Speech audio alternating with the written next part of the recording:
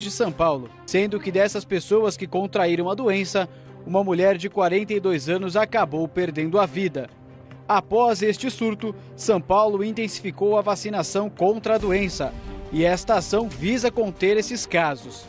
Na zona leste da capital paulista, foram registrados cinco casos da doença entre 16 de julho e 15 de setembro. A vacinação contra a meningite deve ser aplicada apenas em crianças de 3, 5 e 12 meses e também na faixa etária dos 11 aos 14 anos. Porém, por conta do surto, a Secretaria de Saúde do Estado intensificou a vacinação também entre os adultos. No Brasil, o número de casos da doença já chegou a 5.800, ainda abaixo do total do ano passado, que foram de 6.800 casos. Porém, 702 mortes já foram registradas esse ano em decorrência da meningite. Segundo o Ministério da Saúde, em 2021, o total de mortes foi de 793 e em 2020 houve 442 óbitos. Nossa Senhora, peraí, eu, é, é, nós tivemos esses casos eu não estou entendendo. Já existe essa, essa vacinação que está sendo proposta? Já existe? Perfeito. O que, que aconteceu? Por causa da pandemia, ah. a gente está com os piores indicadores históricos de vacina. Sei. De tudo, pólio e tudo, Sei. inclusive meningite. Sei. Então aumentou muito o número de casos, aumentou morte, aumentou notificação e caiu muito a vacinação. Mas o fato de cair a vacinação tem também o um aspecto de, dessa, dessa coisa, dessa onda de ignorância em relação à vacina, doutor? Com certeza, com certeza. O que é que acontece? Antes até da pandemia já havia muita Sim, fake news. Existe. Dizendo que dava autismo, Isso. dava uma série de coisas. Nada disso, obviamente, é comprovado. Claro. E fez com que muitos pais tivessem medo. E agora, com a Covid, falaram mal da vacina, as pessoas não estavam levando as crianças para vacinar. Ou seja, esse surto que de repente a gente podia, é, podia é, é, dizer que vem daí dessa coisa, Com dessa certeza. falta de informação, de Com ignorância, certeza. de tudo isso. E outra coisa, a gente olha 700 mortes e fala assim, ah, Júlio, não é tão alto. É. Mais ou menos, porque tem muita gente com sequela, perda isso. auditiva, déficit isso. cognitivo, e além disso tem muita subnotificação. Porque como é que acontece com a meningite? O médico tem que pensar e ele tem que preencher um papelzinho de notificação compulsória. E a gente sabe que no Brasil o acesso à saúde não é tão simples. Então, se o médico não preencheu, não é notificado. A vacinação, ela acontece, a vacinação para as crianças, ela acontece normalmente. Normal. Agora tá, a vacinação está sendo feita para a população toda? Toda, inclusive adulto, porque a gente sabe que assim, a vacina da meningite você toma na infância. Isso. Então, normalmente adulto você não precisa mais.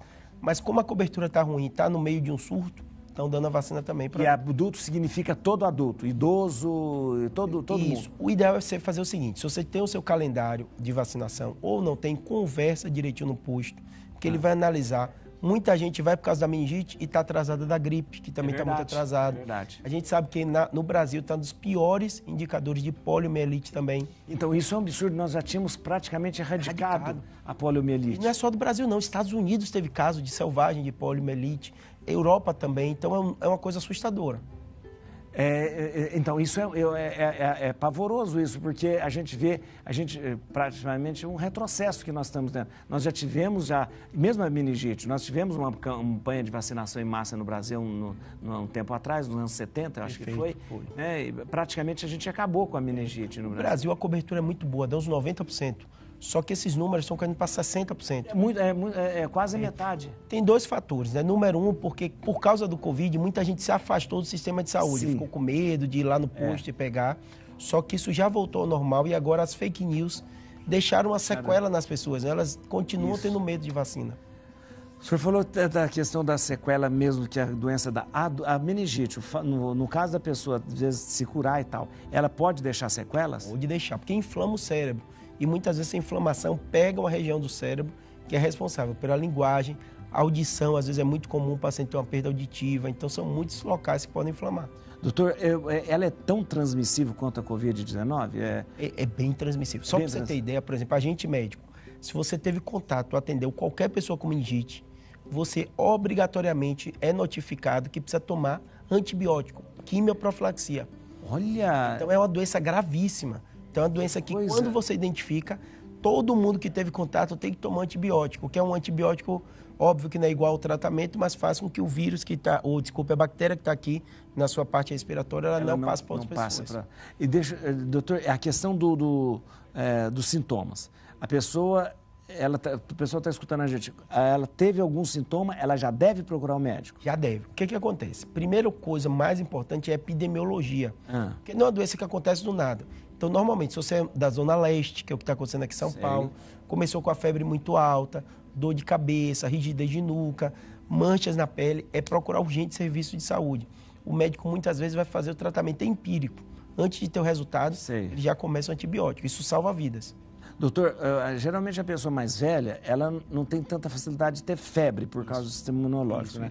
E às vezes essa febre pode não vir no fato, no, no caso da, da, meningite? Isso. O idoso é um pouquinho diferente, né? Mas na grande maioria das vezes, o paciente é uma bacteremia, quando ela está na meninge, o quadro é grave. Ah, então, tá normalmente entendi. o paciente fica letárgico, o idoso, ele fica mais sonolento, ele às vezes fica confuso, falando coisa com coisa, né? esses são sintomas que a gente olha. De, de, de, ah, de, de, de infecção. Infecção, né? infecção no idoso. É. Infecção. Ela é um pouco diferente realmente, a do idoso. Na criança é a febre que chama mais atenção. A febre que é, é, O é idoso, é às vezes, infecção urinária até, né?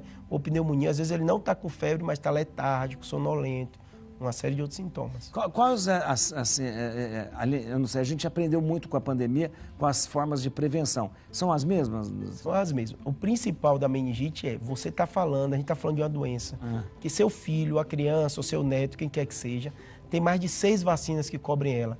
Hemófilo, BCG, né? Tem da, ah, da tem todas essas vacinas. É, tem outras bactérias que também podem dar. Então, se você é pai, se você é mãe, se é avô, confere o calendário vacinal do seu filho. Isso. Isso é um absurdo a gente imaginar que uma doença que é prevenível, que você reduz muita a chance, você não está dando a vacina. Esse é o aspecto mais importante. É, o, o, se, alguém, se, alguém, já foi vacinado, essa vacina precisa ser renovada? Na maioria das vezes não, mas tem que hum. levar o calendário, porque às vezes tem situação local regional. Às vezes está no meio do surto, isso e aquilo, e a Secretaria de Saúde informa diferente.